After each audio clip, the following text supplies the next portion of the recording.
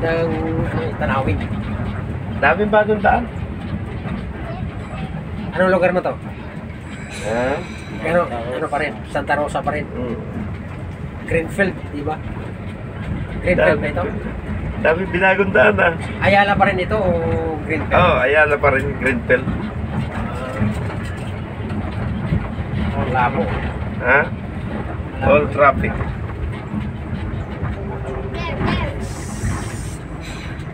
Guys, ah, maganda mga tanawin dito guys.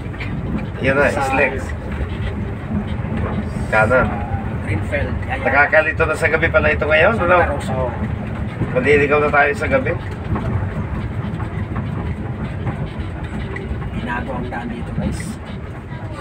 Pag dumako kayo rito, manibago kayo. So, pero ito pa rin, ang dating daan. Kaso maraming harang-harang. Maraming hinarang ano. Ang daming binago. Dito sa lugar ng Greenfield, Ayala. Santa Rosa. So, ang patungo nito, papunta na tayo doon sa ano, Laguna, Pansol. Palaguna Pansol ng guys.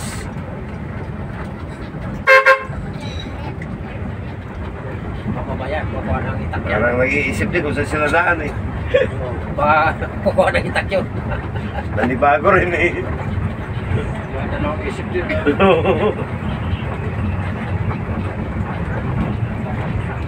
Yun sa Lasal, inabot kami ng isang oras bago namin natutunan yung palabas. Lasal Dasma. Lasal dito sa looban nito. Sa may Greenfield.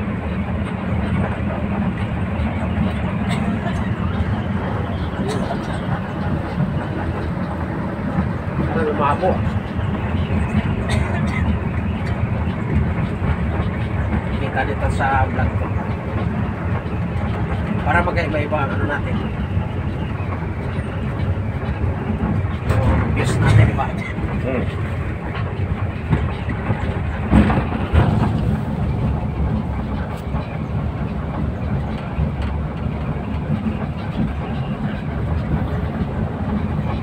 Bubusog ang mata natin dito.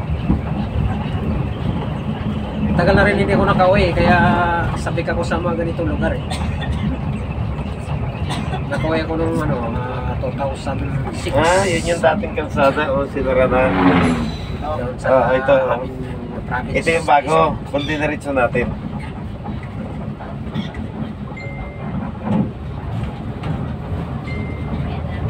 Dami nang isinaraw. Sarado na rin yun, no?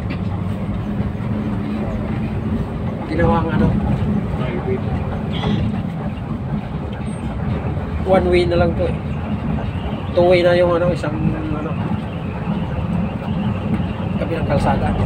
Ito na yung luma. Yan na, pramana na eh. Pramana. May Caltex niya sa unahan yan, Petro.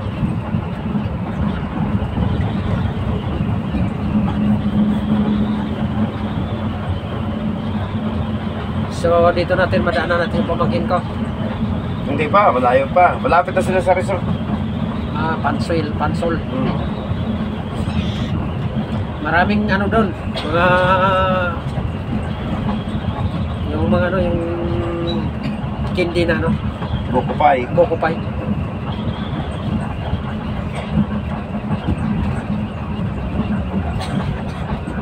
Mahaba ito.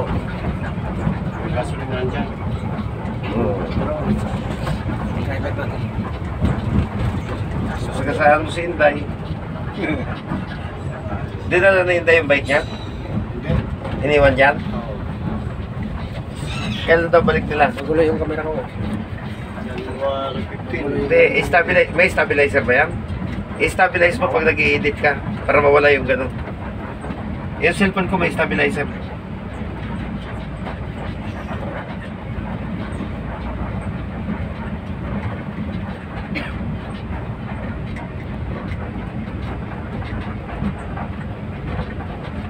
Ah, daming customer ng Jollibee ha. Ano yung ano?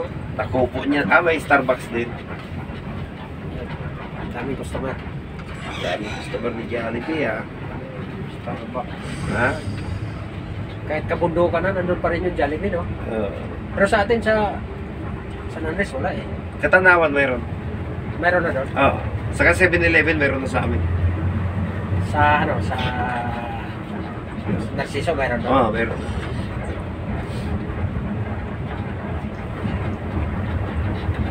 Kaya lang, ginagawang istambayan, papa-aircon yung mga tambay doon.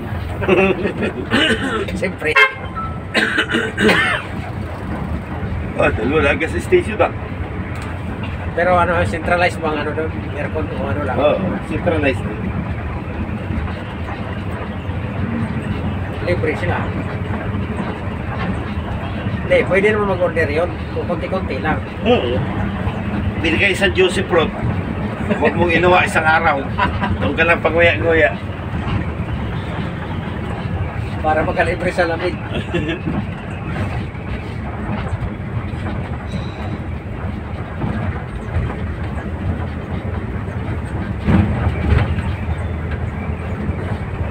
Uwi nga ako doon sa ano, sa yung ano sana, yung nakaraming buwan. Kaso, ano, magkayo pa ako, hindi ako natuloy. Mamotor ka lang. Magmumotor. Palagi ako, pag umuwi ako doon, nagmumotor lang. Punta San Andres. Pero via Aurora ka na, mula na eh. Oh, Hindi ka na umuwi na sa Narciso, doon ka na sa kabila. hindi. Dito talaga doon sa Narciso. Ah, ayaw niyo sa Mulanay? Hindi pa ako nakasubok doon. Via Aurora? Oo, hindi pa ako nakasubok doon. Yung ano, nag-service kami ng kotse, hanggang doon lang kami sa ano, Aurora lang.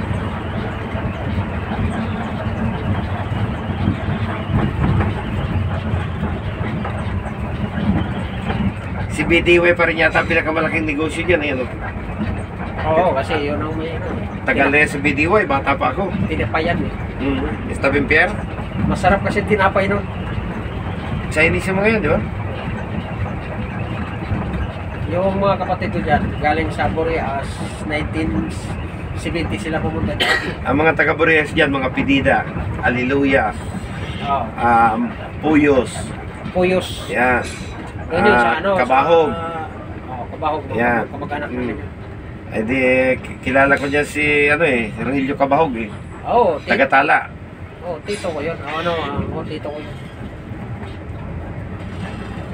Pidang. Asawa niya. Batchmate ko yan eh. Si, Rogelio. sa ano, sa... Sa high school, St. Joseph. Oh. Hindi, yung ano, yung anak yun. Oh, tumakbo ang kagawad yata, natalo. eh. Pero yung ano, yung Nandiyan sa, tatay, nandiyan sa Cavite si yung Rogelio. tatay niya, may tomboy din siya kapatid niya. Barangay Tala. Tala San Andres yata sila eh. Hindi, San Andres talaga yan sila. Unahan San Vicente. Sa bayan talaga. Awan ko sila si ano, si yung yung yung anak. Pero sila si Pidang, yung ta, ano niya, taga yan, taga dyan yan sa mismong bayan. Patay na si ano, eh, si Rogelio. Mm, senyor. O, senior. Anga, angas yan si Rogelio eh. Ha? Angas dito. Walang buhok sa harapan. Oo. Ayaw ko. Kasi may ano yan siya eh. Pulis yata yung ano, ano anak, may isa. Pero tubong Cebu daw yung mga lahi ng mga yan. Oo. Ha? Tama ba? Kamag-anak namin yun eh. May kamp kabahog nga daw sa Cebu eh. Kaya doon talaga, yung mga, Ha? mga barko doon. Oo. Ang ano namin, sa parte sa nanay ko.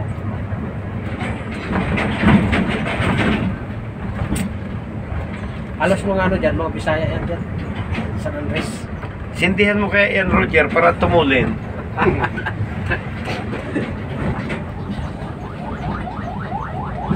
Next summer, maluwag-luwag na rito. Pero pag sindihan mo yun, pati tayo, malagali. Ay, tulin din natin.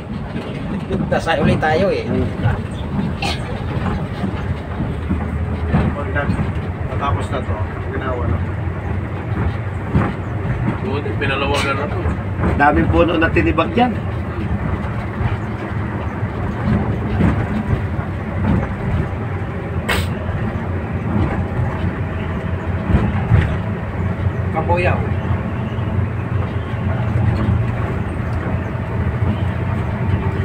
Pabundok Peninsula na si PM.